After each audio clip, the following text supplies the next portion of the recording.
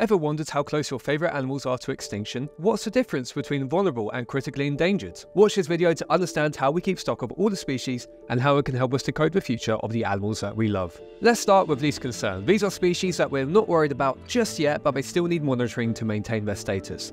This category includes species such as the red kangaroo and common bottlenose dolphin. Species such as the margay are in the near threatened category. This category is a warning sign. We see species not currently endangered but might be soon. It is a nudge to start conservation efforts as soon as possible. In the vulnerable category with species like the sloth bear, the risk of extinction becomes a clear and present danger, often due to habitat loss or climate change. More critical is endangered, where species like the howler monkey in Costa Rica have experienced a dramatic population decline due to urban development. Our conservation work covers this species and we work to protect their habitat habitat and wild populations. At the brink of extinction are critically endangered species like the hawksbill turtle. Here, every individual survival is crucial for the species' existence. Species are classified as extinct when there are no cases of individuals in the wild or captivity.